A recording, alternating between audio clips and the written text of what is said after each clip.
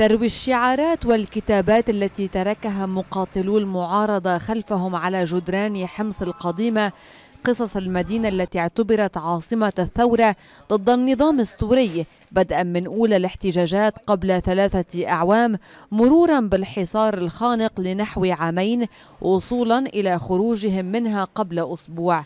وفي هذه الأحياء التي استحالت دمارا يمكن قراءة الشعارات التي كتبها المقاتلون في زاوية كل شارع.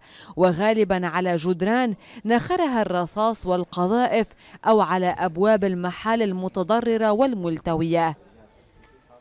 طلعنا من هون حديقة وشجر مسمر كان فيها لكن لما رجعنا لهون على الحارة هلأ تفاجأنا إنه صايرة مقبرة يتجاوز فيها 300 400 آه، عنصر من المقبرة المهم مين من كان يكون؟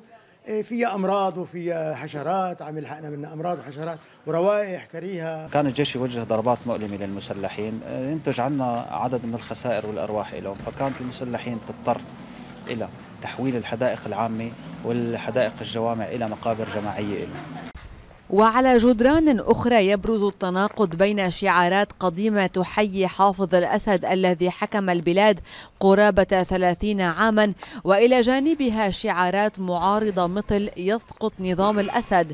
ومع اشتداد حصار القوات النظامية لأحياء المعارضة والذي جعل القاطنين يقتاتون من الأعشاب والفتات اتخذت الشعارات منحى يعكس المعاناة مثل الشعب جوعان. وفي الأيام الأخيرة للحصار الحصار وقبل خروج المقاتلين بدت الشعارات وكأنها تسعى إلى تبرير قبول المقاتلين بترك الأحياء التي قتل فيها نحو 2200 شخص بسبب القصف والمعارك خلال مدة الحصار.